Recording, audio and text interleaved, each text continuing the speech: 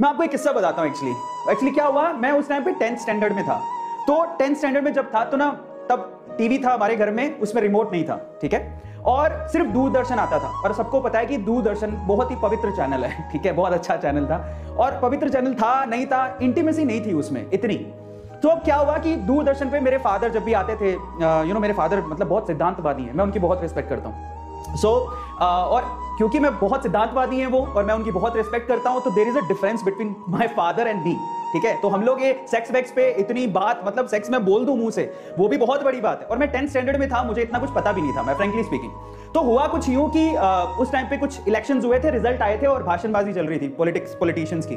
तो मेरे father TV देख रहे थे पॉलिटिशियंस की भाषणबाजी चल रही थी और अचानक से क्या होता है वहाँ पे एक निरोध का आ, पता नहीं मैं ये शब्द कैसे बोल पा रहा हूँ बट इसका एड आया। ठीक है? और आज मैं चाहता हूँ कि मैं इसके बारे में खुल के बात करूँ। आप चाहे इसको किसी भी वे में ले, लेकिन बात करनी बहुत ज़्यादा ज़रूरी है एज अ ब्रदर ठीक है? आप उसे किसी भी वे में लीजिए, भाई की तरह या किसी भी तरह से। एक एड आया निरोध का। मैं छोटा सा बच्चा था, और भाई रिमोट तो था ही नहीं ना। मैं उसे बंद कैसे करता? हालाँकि मैं सबसे आगे बैठा हुआ था मेरे फादर पीछे बैठे हुए थे। तो अचानक से क्या हुआ? एड आया। वो चल रहा था पॉलिटिक्स का स्पीच चल रहा था। अचानक से जब निरोध का एड आया तो मेरे फादर के हाथ में ना नींबू था। तो उन्होंने क्या किया? मेरे सिर पे ज़ोर से मारा था। ठप। और मैंने कहा मैंने पीछे मुड़ के देखा भाई, क्या हुआ? तो मेरे फादर कहते हैं, तुझे शर्म नहीं आती? तूने तूने बंद क्यों नहीं किया उसको? या आवाज़ धीमी क्यों नहीं करी? मैंने कहा, मेरी कहाँ गलती है? मतलब मुझे क्या पता था कि एड आने वाली है?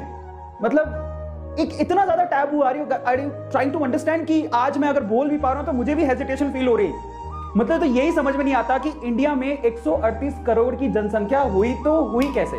जिस बारे में लोग बात ही नहीं करना चाहते वो काम करके 138 करोड़ की जनसंख्या कैसे हुई? मुझे कोई आइडिया नहीं है।